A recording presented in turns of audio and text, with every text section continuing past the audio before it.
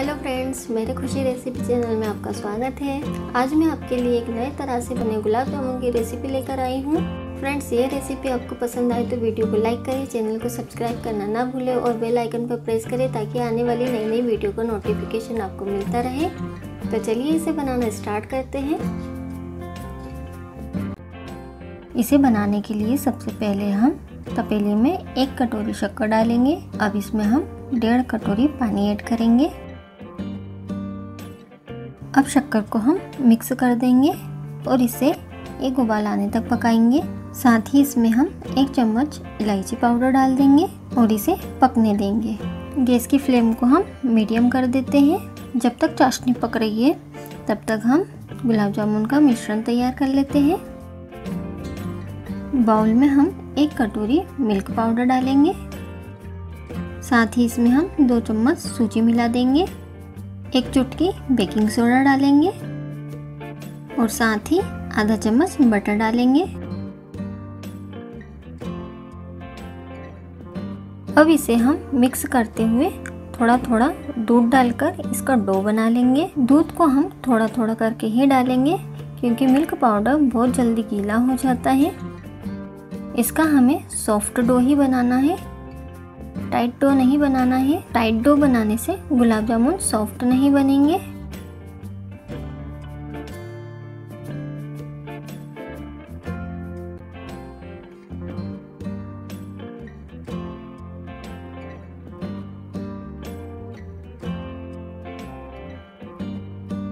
अब इसे हम ढककर रख देंगे। देखिए चशनी में उबाल आने लगा है। इसे हमें ज़्यादा नहीं पकाना है। इसे हम तीन से चार मिनट तक और पका लेंगे। तीन से चार मिनट हो गए हैं, चाशनी को बस हम इतना ही पकाएँगे। चाशनी को हमें गाढ़ा नहीं करना है, इसे हम हल्की सी चिपचिपी ही रखेंगे। अब हम गैस को बंद कर देंगे और चाशनी को ढक देंगे। डो भी अच्छे से सेट हो गया है।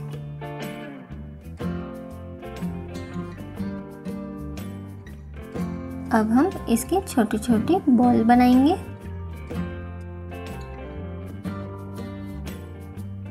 देखिए, इसकी हमें इतनी बड़ी बॉल बनानी है। अब इसे हम प्लेट में रख लेंगे।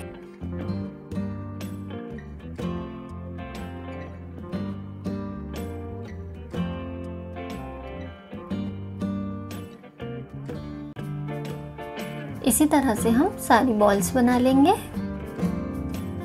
गैस पर मैंने पहले से ही कढ़ाई में घी गर्म होने रख दिया था। घी की जगह पर आप तेल का भी यूज़ कर सकते हैं। घी गर्म हो गया है। अब हम बॉल्स को घी में डालेंगे। गैस की फ्लेम को हमें लो ही रखना है। तेज फ्लेम पर गुलाब जामुन ऊपर से सीख जाएँगे, लेकिन अंदर से कच्चे ही रह जाएँगे। इसलिए हम गैस को लो ही रखेंगे। बॉल्स को हम पलटा पलटा कर गोल्डन ब्राउन होने तक तल लेंगे।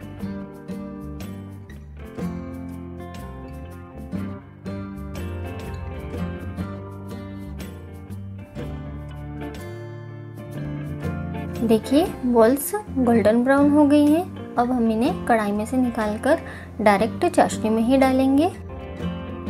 चाशनी भी हल्की सी ठंडी हो गई है। इसी तरह से सारी बॉल्स को तलकर हम चाशनी में डाल देंगे। अब इन्हें हम एक घंटे तक चाशनी में ही रहने देंगे और इसे कवर कर लेंगे।